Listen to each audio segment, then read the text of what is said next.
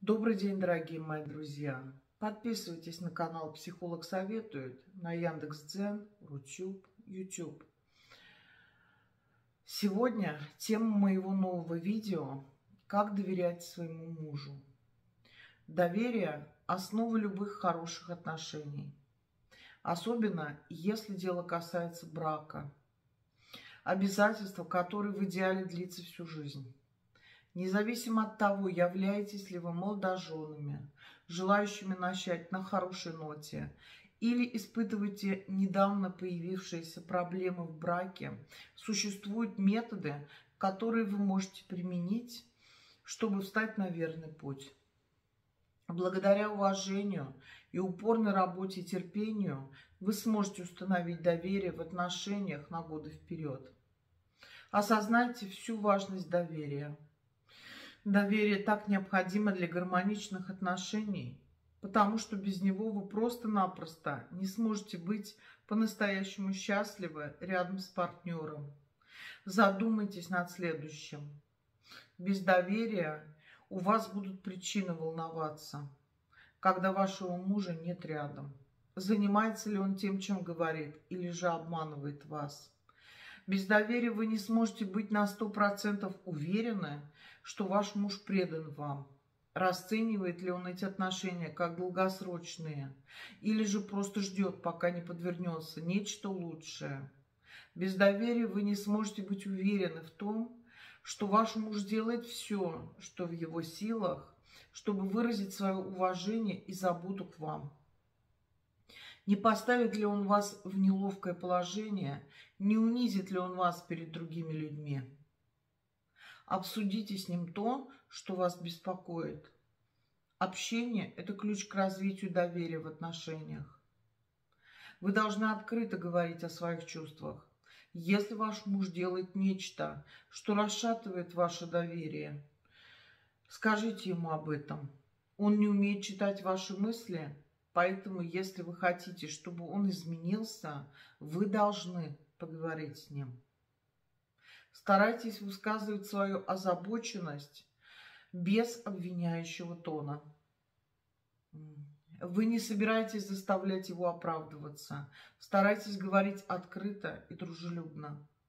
Например, вы можете сказать, слушай, мы не могли бы немного поговорить о нас. Излагая свои доводы, лучше говорить о том, как его действия влияют на ваши чувства, нежели критиковать его и переходить на личности. Вы не должны говорить только о негативных вещах. Не бойтесь сказать и о том хорошем, что он делает для вас. Слушайте его. Хорошая коммуникация – это улица с двусторонним движением. Выслушайте, что хочет сказать ваш супруг, и изо всех сил постарайтесь понять его. Вы не всегда должны быть с ним согласны.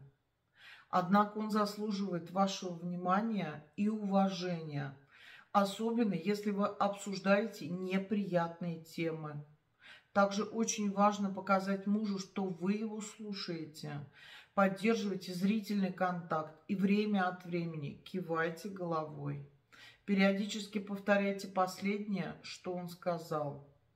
Уважайте его личное пространство. Пусть новое доверие в отношениях начнется с вас. Основной способ установить доверие – это дать мужу достаточно личного пространства, ожидая того же и от него. Это значит не копаться у него в телефоне, электронной и обычной почте или в аккаунтах социальных сетей. Это также значит не названивать ему постоянно, допытываясь, что он делает, и требуя объяснений за то, что он уже сделал. Подобные действия лишь подпитывают вашу собственную неуверенность в себе и никак не могут изменить то, чем занимается ваш муж. Однако это не значит, что вы должны закрывать глаза на его плохое поведение и игнорировать доказательства. Очевидные предупреждающие сигналы, например, таинственное сообщение, которое заставило его отменить ужин с вами безо всяких объяснений, могут быть основаниями для собственного расследования. Открыто заявите о своих ожиданиях. Очень важно, чтобы каждый супруг выразил свои разумные ожидания на самых ранних стадиях и этапах отношений. Таким образом, если кто-то из вас поступает плохо, вы можете четко указать, что конкретно подорвало ваше доверие. Это особенно важно, если ваши ожидания от партнера значительно отличаются от стандартных норм. Например, не изменять, не флиртовать с другими и тому подобное. Также просто необходимо разделить обязанности в отношениях, например, заботе о детях. Если вы еще этого не сделали, честно обсудите с партнером ваши ожидания относительно друг друга. Будьте готовы высказаться о проблемах в отношениях, однако старайтесь вести беседу о своих чувствах, а не о своих подозрениях. Например, вы можете сказать, когда ты постоянно приходишь домой поздно, мне начинает казаться, что я для тебя не важна. Таким образом, вы дадите ему возможность увидеть, как это на вас воздействует, при этом не, не выдвигая обвинений, которые могут привести к ссоре. Четко объясните мужу, как он подорвал ваше доверие. Ваша первая цель после предательства – подумать, как вы будете говорить с супругом, который пошатнул ваше доверие. Так же, как и, выше, вам нужно сосредоточиться на том, что вы почувствовали в результате его действий, а не на личных нападках. Но так как в этом случае он намеренно сделал что-то, что причинило вам боль, то вам нет необходимости оставаться абсолютно спокойной. Проявить эмоции вполне разумно, особенно если он совершил неч нечто поистине оскорбительное для вас. Например, вы можете начать беседу следующим образом. Нам нужно поговорить. Мне не нравится то, что ты солгал о том, где был. Если я не могу тебе доверять, то в наших отношениях могут возникнуть проблемы. Так вы четко дали понять, что расстроены. При этом не дали эмоциям полностью захватить вас. Дайте ему возможность восстановить доверие. Предательства могут быть разные. От довольно незначительных. Обманул, чтобы провести время с друзьями, например. Или забыл романтической дате и прочее. До глобальных. Измена, унижение перед другими людьми и тому подобное. Вам судить, насколько сильно подрывание доверия вашим супругам скажется на ваших отношениях. Однако, раз уж вы остаетесь вместе, после возникновения проблемы, вам стоит дать мужу настоящий шанс вернуть доверие. Следите, чтобы наказание соответствовало преступлению. Например, если вы застали супруга за флиртом переписке с коллегой, но при этом он клянется, что ничего больше не было, и вы верите ему – вы можете избегать близости, например, секс, объятия, нежности и прочее до тех пор, пока не убедитесь, что его не интересует никто другой, кроме вас. Обратитесь к семейному психологу.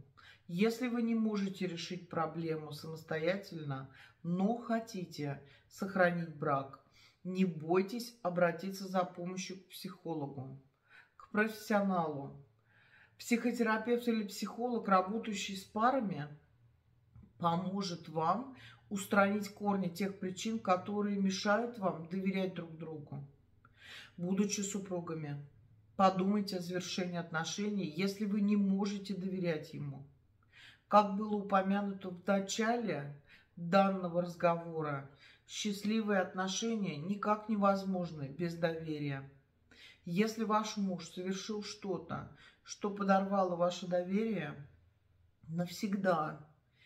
Или же, если он отказывается меняться после предательства, возможно, настало время пересмотреть ваши отношения. Расставание – это нелегко. Особенно, если вы женаты. Однако перспектива жить с человеком, которому вы не сможете верить, никогда не будет хорошей идеей.